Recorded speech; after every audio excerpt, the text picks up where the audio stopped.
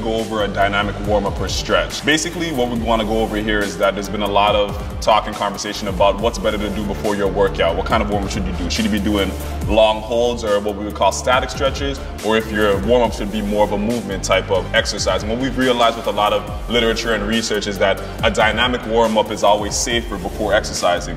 Things like if you're holding stretches for long periods of time before you work out, you kind of put yourself in a position where you're pre more predisposed to injury because you're kind of separating the cross fibers of that muscle and it becomes more dangerous. So your warm-up should more mimic the type of things you're going to be doing in that workout or whatever sport or activity you might be playing.